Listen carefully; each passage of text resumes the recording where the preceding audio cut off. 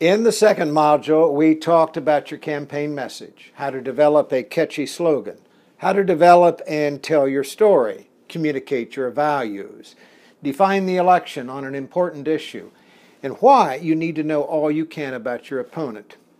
The next three modules are devoted to communicating your message. In modules four and five, I'll be spending a lot of time on the forms of advertising your message television, radio, mail, telephones, internet ads, newspapers, volunteers, and yard signs. In Module 3, we'll talk about you, the candidate. It is worth every minute I will devote to it because of one simple reason. You will make or break your campaign, and you have to be right or everything else will be wrong. You are the campaign's greatest asset, the main source of news and inspiration, the most important communicator of your message. You are the message. The words that come out of your mouth in television, radio, or newspaper interviews, or on the receiving end of a telephone call, is the difference between attracting votes or repelling them. The words that roll off your fingers in social media, or on your website, or in your persuasion mail, is the difference between winning votes or losing them.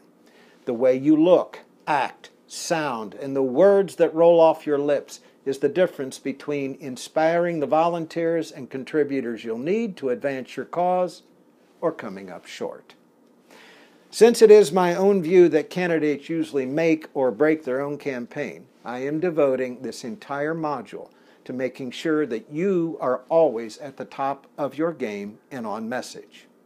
This module has six lessons all are designed to help you master the art of candidate communication. In Lesson 1, we'll talk about you, how you look, dress, sound, your posture, demeanor, your health, and what you need to do to ensure that people want to meet you, talk to you, and listen to what you have to say. I'll have some tips on all of those. In Lesson 2, we'll talk about how you plan and execute your formal announcement, the pre speech rollout, making the reporter's job easy so that you get great coverage and attract volunteers. In Lesson 3, we'll cover how to develop your earned media plan. I'll tell you about time honored ways to stay in the news once you have made your formal announcement, ways to make news that reporters want to cover, and how to do it in a way that attracts volunteers and generates nice attention for your cause. In Lesson 4, we'll discuss the art of doing interviews with print reporters, how to prepare for them, how to handle things in your past that might be a problem in your campaign. I'll also share some tips on how to steer print interviews to matters that you want to discuss rather than letting a reporter lead you around by the nose.